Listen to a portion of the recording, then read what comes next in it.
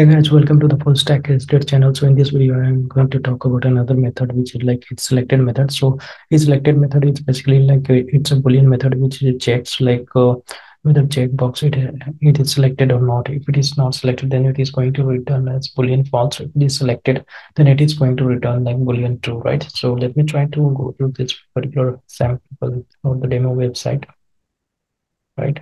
So this is the website I have taken so this is the internet hero view have right?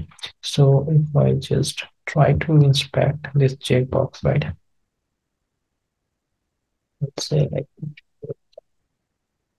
that is equal to checkbox and i think there are two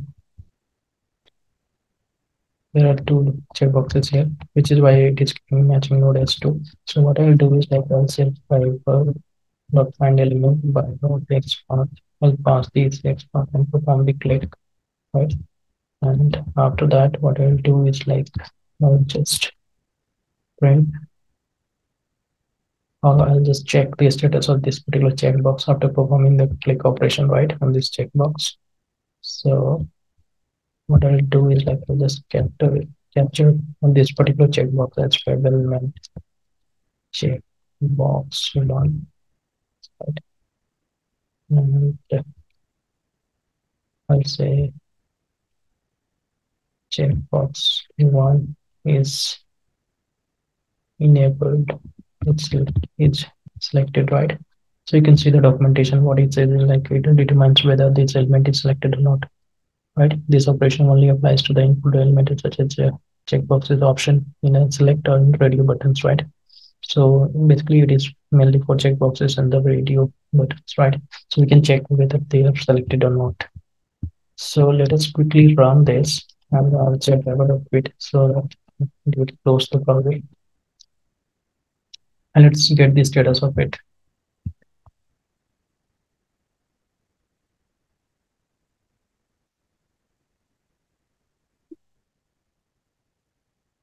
So you can see it is false, right? And why it is false. So let's now close this time so that we can see like what is the actual status. So we are referring to the first checkbox let's see. We will be able so first one is like uh, unchecked right? So what is the status as false? So it is right. Since it is not selected so it is uh, giving us as false over here initially but when I run it one more time, right? So what I will do is like, uh, I'll just hit on this dot click and then I'll print this.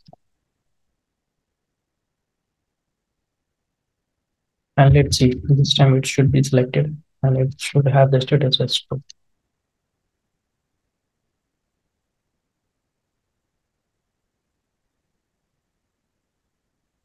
All right so it has selected the first checkbox and this time it is having the status as true right?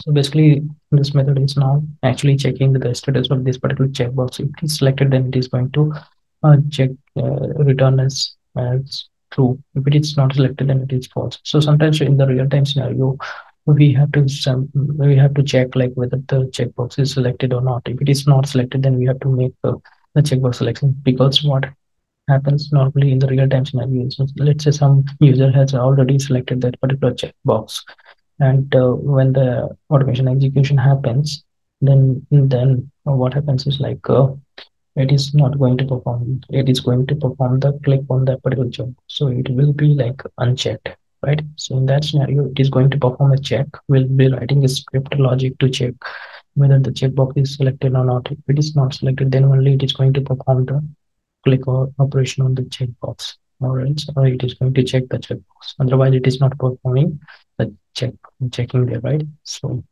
that's how it works in the real time. So that's all in this video. See you in the next one. Thanks for watching